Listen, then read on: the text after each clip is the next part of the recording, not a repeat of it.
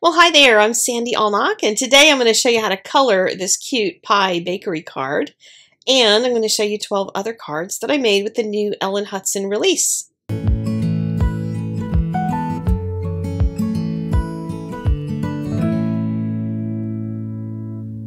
Do not be afraid of this picture. I know there's a lot of Christmas in it, and some people break out into hives already, but the season is coming. So this is your warning. I'm making a non-Christmas card today, and I'll show you a couple here that are non-Christmas. This one uses the wood grain background, which I stamped over almost the whole thing. I barely did any masking other than the Latte Love cups. Those are from an older release. But I colored right over top of the grout gray ink from MFT in order to color that background for Halloween, there are going to be a couple of things. There's the spiders and then this cute little stamp set with ghosties and pumpkins and stuff in it. And of course, everything comes with dies. There's two sentiment sets. One is a little mini set if you like smaller sentiments, and then one that has larger sentiments. And all of that is linked in the doobly-doo as well as over on the blog. One of my favorite sets in this one is the Christmas characters, and there's these little floating heads. And I came up with fun ways that you can use floating heads and make a scene out of them.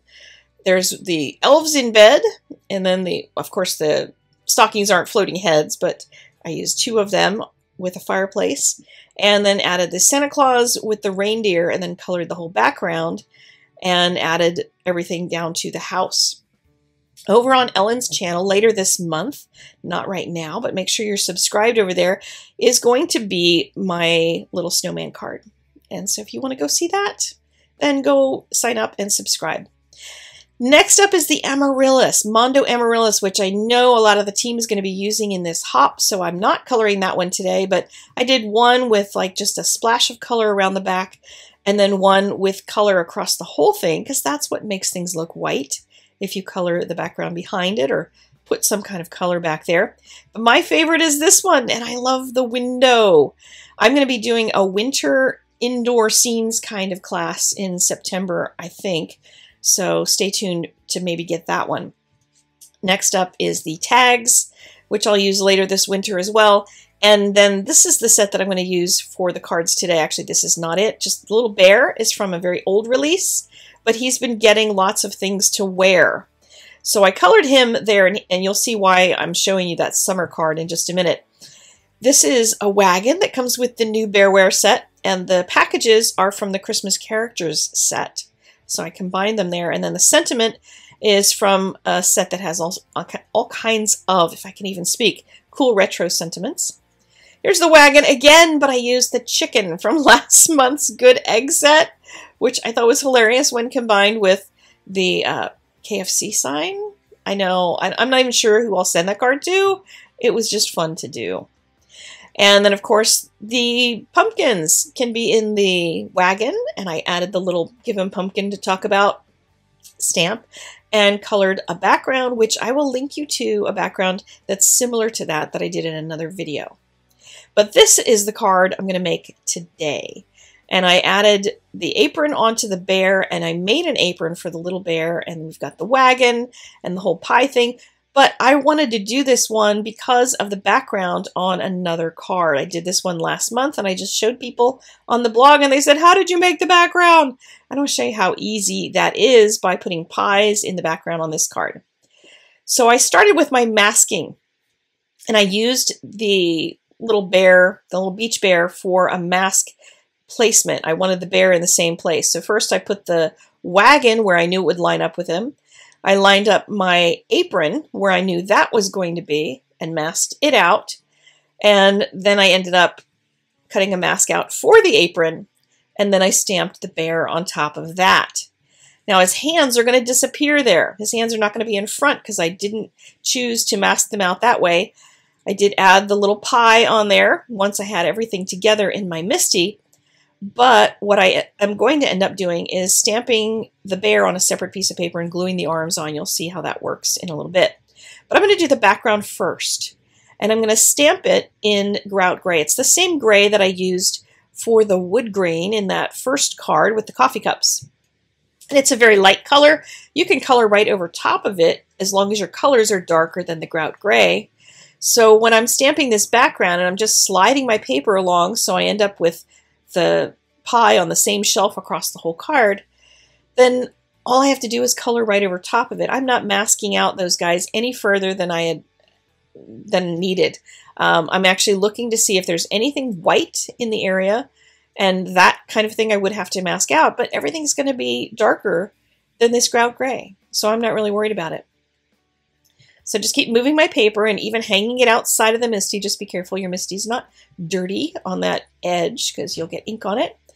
And then I'll move the pie up and make another shelf. Now when I did it with mixed items, I did them by hand. So I drew a little light line with a light marker and I, I stamped them by hand rather than using the MISTI. It's easier to do if you have just one big, big scene you're doing like this and do the same image. So to complete the shelf, I took a W1 to do the darkest areas right in between the pies. And then you can use a W0 or a W00 to just add some flicking above it.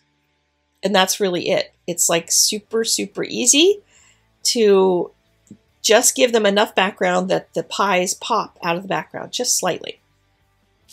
Next up is the floor, and I've done these floors before, so I'll just kind of zip through this really quick. Using a light color to sketch it in. If I did it with pencil, I would end up with lines in there, and you know, there's all, all that trapping of lines. If you're using a dark color like this, then you don't necessarily need to worry about trapping lines, but you can also just you know, do a, a floor in another color. I had considered actually doing a pink, pink squared floor, and then I decided I needed the contrast of it. And over here on the right-hand side, I actually goofed up and my lines got a little wonky, but I knew I was going to trim this out anyway, so I just kind of threw in an extra stroke there. Didn't worry about it because I'm going to cut that part off. Then comes the very simple, you know, I guess comparatively simple coloring of the bears. And you can see I've got my secondary bear stamped so that I can just do the arms and then I will cut them out. Somehow the footage disappeared for the rest of the apron. However, you're going to see the apron on the other bear, so don't worry about that. To put the arms in here, I gave really dark shadows under where the arms are going to be glued down. I'm only going to use that really dark color in there, and then I'm moving to a lighter dark brown and then a medium tone brown to finish out the, the roundedness of the bear.